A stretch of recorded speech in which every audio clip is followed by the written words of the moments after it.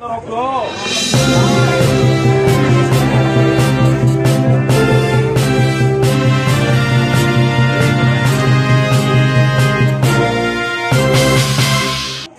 Sambutan hangat ditunjukkan para pedagang dan pembeli pasar Balong saat melihat kedatangan Sugiri Sancoko Kamis pagi.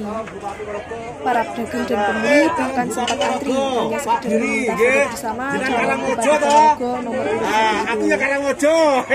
Tak hanya meminta foto, para pedagang juga banyak menyampaikan aspirasi terkait kondisi pasar yang perlu perbaikan.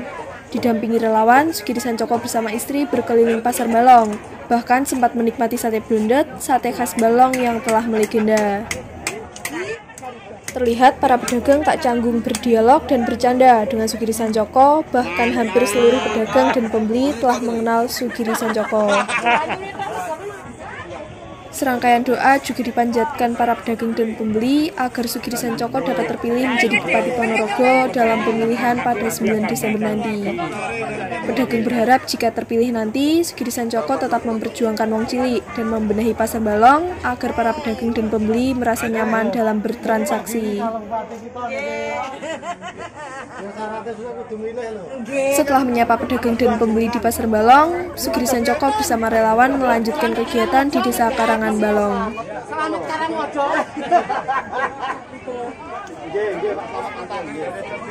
Alhamdulillah harapan pun baik tapi welinge kanca-kanca sedaya aja lali karo wong cilik.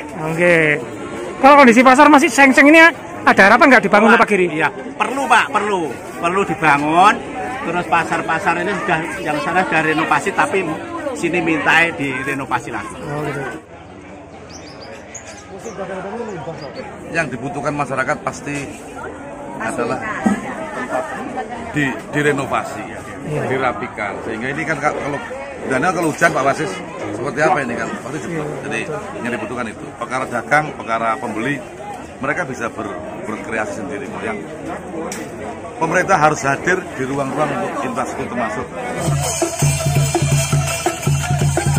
Budi Wianto, dari Ponorogo, Jawa Timur, melaporkan.